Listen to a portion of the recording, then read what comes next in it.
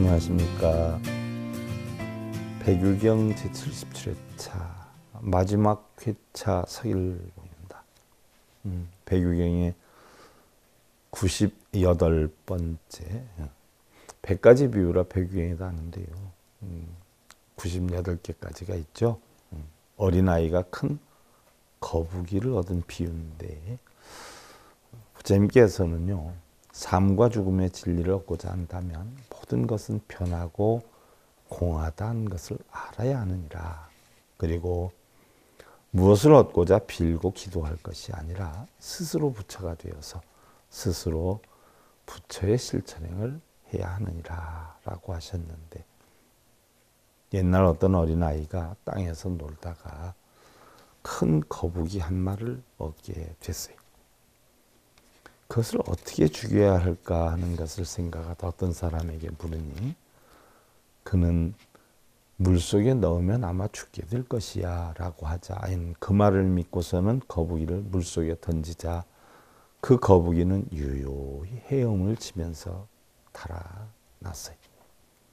그것을 보시고 범부, 어, 부처님께서는 범부들도 화가 나니라 육군을 지켜서 갖가지 공덕을 닦아 어떻게 열반을 얻는 건지 어떻게 해탈의 길을 가는 건지 물으면 그 길을 바르게 아는 사람도 적지만 대부분이 삿된 마음으로 기도를 해라 죄를 지내라 몇 번을 쓰고 몇 번을 읽어라 가르침을 주지만 그와 같은 것은 그릇된 소견의 가르침일 뿐만 아니라 열반이나 해탈의 길도 아니고 오히려 탐진치를 드러나게 하고 사막도로 떨어지게 하는 것이니 마치 어린아이가 저 거북이를 물속에 던지는 것과 같느니라 라고 하였는데요.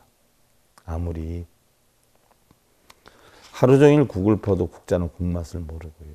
아무리 하루 종일 땅을 파도 삽은 흙냄새를 맡을 수가 없죠. 아무리 오래 절을 다니고 아무리 열심히 절을 하고 또 독경 사경을 해도 경전의 뜻이나 부처님의 가르침을 모르고 맹목적인 믿음만 갈구한다면요. 그것은 역시 뭐 국을 푸는 국자나 땅을 파는 삽과 다를 바가 없는 것이죠. 바로 소규의 경일기, 우이독경에 지나지 않는다는 것이고요. 스님들이 밥을 잡수면 스님 배가 부르고요. 스님들이 기도를 하면 스님께 공덕이 가는 것처럼 우리 인생이나 세상에 지는 우리 각자 스스로 형성해 가는 것이지 어떤 절대자나 신이 대신해 주는 건 아니죠. 내가 배가 고프면 내가 밥을 먹어야 하고요. 내가 성공을 바란다면 내가 노력을 해야지 누구한테 빈다고 되는 건 아니죠. 빌어서 될 것 같으면 뭐 음? 종교인들이 다 해서 가져갈 수가 있는 것이고 또 하늘에서 우리가 별을 따게 해달라고 기도를 하고 물 속에 잠겨 있는 바위를 떠오르게 해달라고 아무리 기도를 한들 떠오를 수가 있을 것이며 호박을 가져다 놓고 삼천일 기도를 하고 백만 번의 절을 한다라고 해서 수박이 되는 것도 아니고요.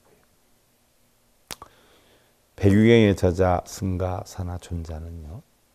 마치 쓰고 독한 약물을 달콤한 성밀과 한데 섞으면 그 약은 온갖 병을 부수는 것처럼 이 백유경도 또한 그와 같나니 바른 법안에 실없는 웃음 그것은 마치 저 미친 약과 같느니라.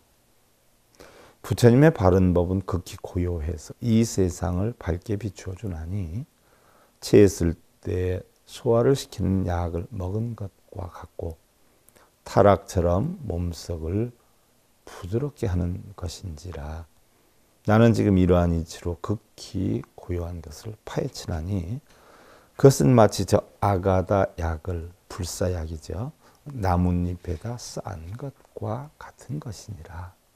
그러나 그 약을 취해 상처에 바른 뒤에는 그 나뭇잎은 도로 버려야 할 것인즉 그동안의 우스갯 말은 앞으로 음, 2%싼 것과 같으니 바로 버리고 진실한 이치는 그 속에 있는 것이니 지혜로운 사람은 바른 이치를 취하고 어리석은 말은 버려야 할 것이니라.